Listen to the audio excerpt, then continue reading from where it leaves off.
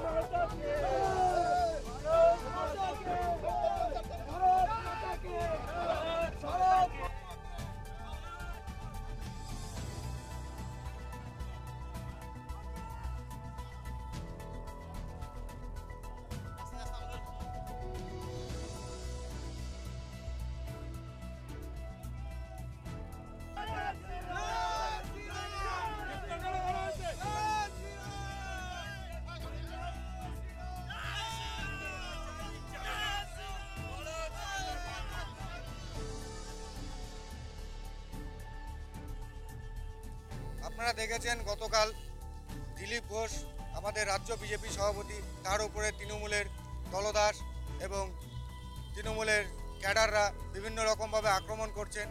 বিভিন্ন জায়গায় তার কেন্দ্রীয় এলাকায় তিনি যখন ঘুরতে যাচ্ছেন, বেরোতে যাচ্ছেন, সাধারণ জনগণের বিভিন্ন রকম অসুবিধার পাশে দাঁড়াচ্ছেন, তখন পুলিশ দিয়ে তার থেকে বাধা সৃষ্টি করা হচ্ছে এবং তৃণমূলের ক্যাডারদের দিয়ে তার উপর আক্রমণ করা হচ্ছে। এইসবের প্রতিবাদে আজ ভারতীয় জনতা পার্টির নেতৃত্বে এক নম্বর মণ্ডলের পক্ষ থেকে এসডিও সাহেবকে এক বিক্ষোভ প্রদর্শন এবং ডেপুটেশন প্রদান করা হচ্ছে।